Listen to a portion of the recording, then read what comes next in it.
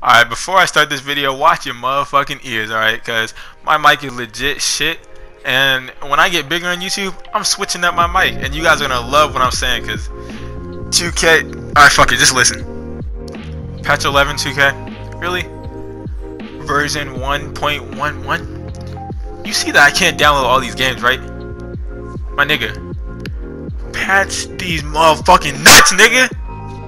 This mic is legit shit. I played that over again, and oh, this mic is so ass. Alright, but for real, like 2K, what are you doing? Ronnie 2K, those rumors about you getting fired, that needs to happen. Your ass.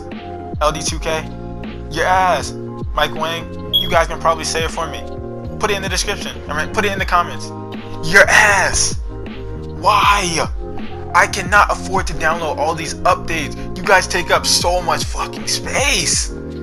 Especially with all these patches, bruh. Look, Call of Duty Modern Warfare Remastered cannot download. Call of Duty Black Ops 3 version 1.20 cannot download. NBA 2K17 version 11 cannot download. Call of Duty Infinite Warfare version 1.08. Nah, that installed, but like, how do you play that game like that? And I have the regular PS4. I don't have like an external hard drive. I don't have anything, bro. I have all this space it came with. And I cannot download shit. What the fuck? 2K, stop, stop, stop, stop.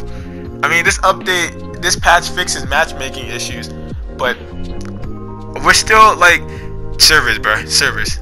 I'm gonna play 2K today. I'm gonna figure out how to play it with all these updates. I'm gonna figure out how to get space and I'm gonna run it up. If you guys wanna run with me, alright, that's cool. Just, just message me, bro. That's cool. But for real, nigga, for real, there's not much to say because like it's just so sad. like it's so sad. No new parks. Servers are still the same. Alright, like there's not much to say, bro. But I'm out.